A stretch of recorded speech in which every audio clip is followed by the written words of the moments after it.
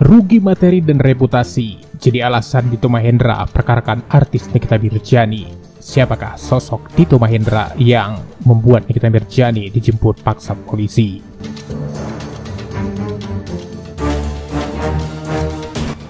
Ya, Dito Mahendra akhirnya akan bicara menyusul penangkapan Nikita Mirjani di sebuah mall beberapa hari lalu.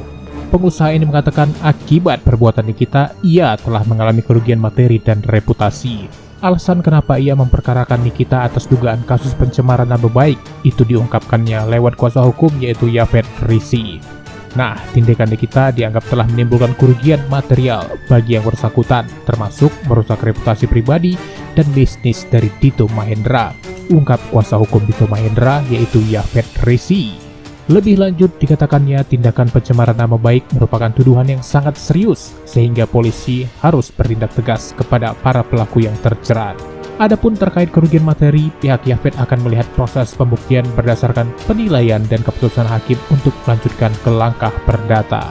Dan atas penangkapan Nikita Mirjani, Yafet juga menyebutkan Dito mengapresiasi tinggi atas kinerja tim penyidik Polresta Serang Kota. Seperti kita ketahui, Nikita Mirjani ditangkap di pusat perbelanjaan kawasan Senayan, Jakarta Pusat pada Kamis sore 21 Juli 2022. Yafet menambahkan penangkapan ini sebagai bukti penyidik memiliki independensi yang tinggi dan profesional terhadap menjalankan tugasnya sesuai KUHP yang menegaskan setiap tersangka wajib hadir jika menerima panggilan. Dito menghargai dan penuh harap bahwa pihak kepolisian akan terus profesional dalam menegakkan hukum sesuai peraturan perundang-undangan yang berlaku. Nikita Mirjani sudah ditetapkan sebagai tersangka atas kasus pencemaran nama baik melalui media sosial dilaporkan Dito Mahendra ke Polresta Serang.